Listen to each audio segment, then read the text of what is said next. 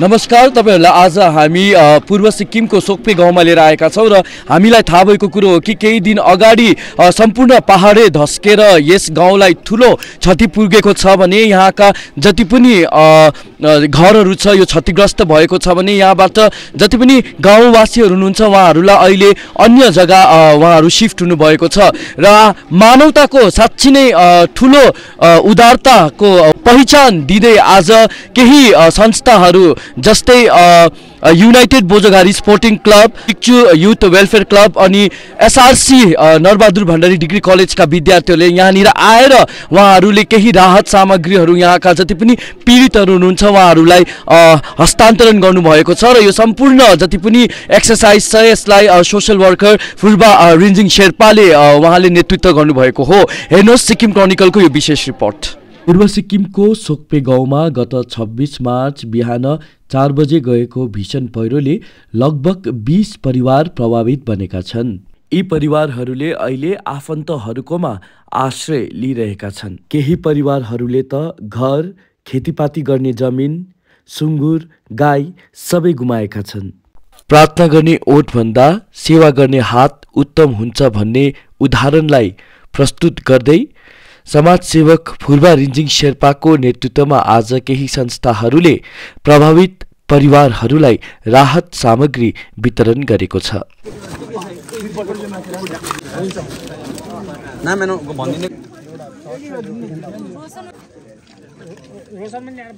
प्रभावित परिवारहरूलाई सहयोग पुर्याउन नरबहादुर भण्डारी डिग्री कलेजका विद्यार्थीहरू युनाइटेड बोजोगारी स्पोर्टिङ क्लबका सदस्यहरू र डिक्चु युथ वेलफेयर एसोसिएसनका सदस्यहरू अघि आएका छन्। रासिन ल्याएर यसरी वितरण गर्ने ग्रुपहरू हाम्रो अब ग्रुपहरू दाजुभाइ दिदीबहिनीहरू हो यहाँ आउने अब कलेजको भाइ बहिनीहरू फुर्बा सरहरू जो जो सरहरू जो जो आउनुभएको छ है उहाँहरूलाई सबैलाई धन्यवाद होइन। मेरो अन्तरिक हृदयबाट होइन।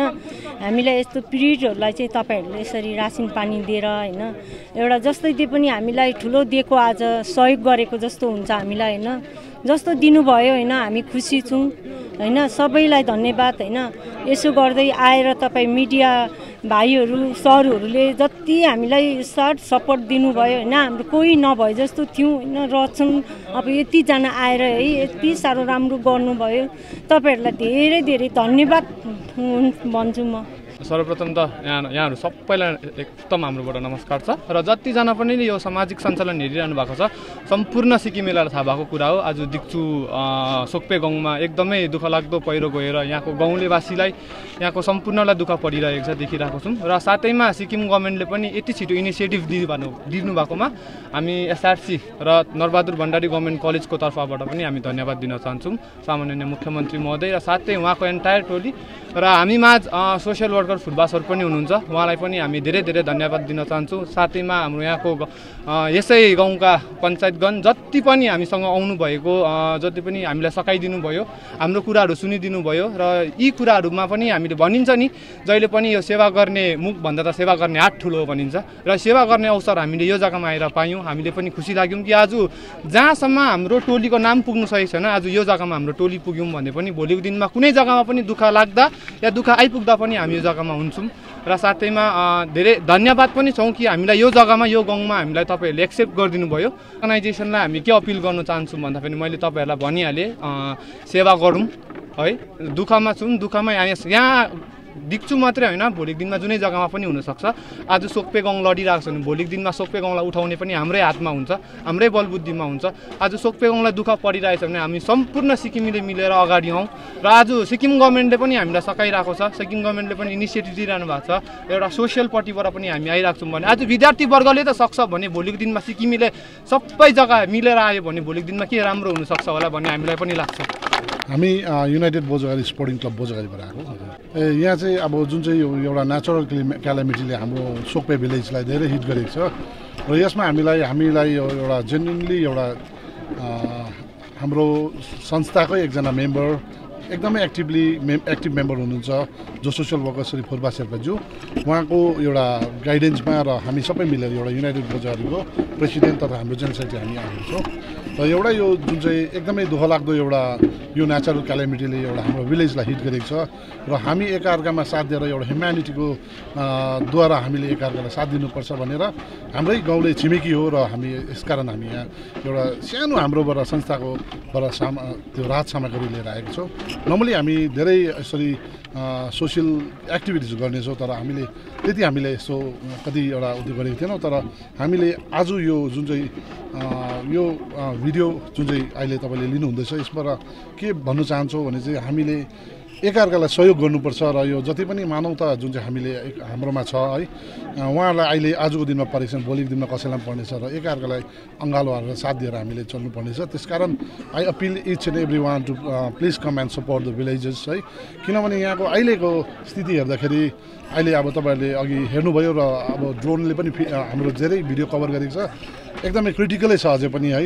र I appeal each and every one to please come support सबै भिलेज थ्याङ्क मेरो यहाँ डिक्चुमा बेस भएको हामी डिक्चु युथ वेलफेयर एसोसिएसन म आफै प्रेसिडेन्ट मिस्टर जिग्मी टङ लेप्चा अनि मेरा एसोसिएसनका मेम्बर्सहरू हुनुहुन्छ।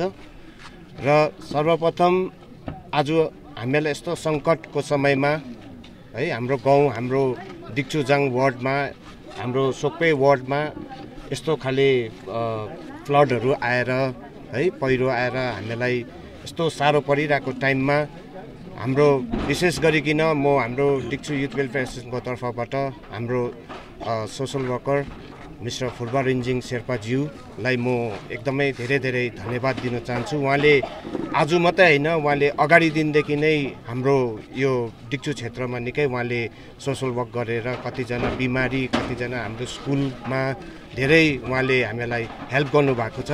र त्यस्तै प्रकारले हाम्रो बोझोगाडी बाट आउनुभएका हाम्रो युनाइटेड फ्रन्ट उहाँहरूको संस्थालाई पनि हामी धन्यवाद दिन चाहन्छु। त्यस्तै प्रकारले हाम्रो कलेज स्टुडेन्ट एसोसिएसनबाट आउनुभएका सबै मेम्बर्सहरू प्रेसिडेन्ट अनि उहाँका मेम्बर्सहरूलाई पनि म धन्यवाद दिन चाहन्छु। उहाँहरूले आएर हाम्रो यस्तो सङ्कटको समयमा उहाँले यस्तो रिलिफ यहाँ हामीलाई हाम्रो पब्लिकहरूलाई हाम्रो जुन चाहिँ फ्लडको भिक्टिम्सहरू छ उहाँहरूलाई यसरी दिनुभएकोमा हामी डिक्चु युथ वेलफेयर एसोसिएसनको तर्फबाट उहाँहरूलाई एकदमै धन्यवाद दिँदैछु धन्यवाद Get all the credible news on the go. Download the Sikkim Chronicle app.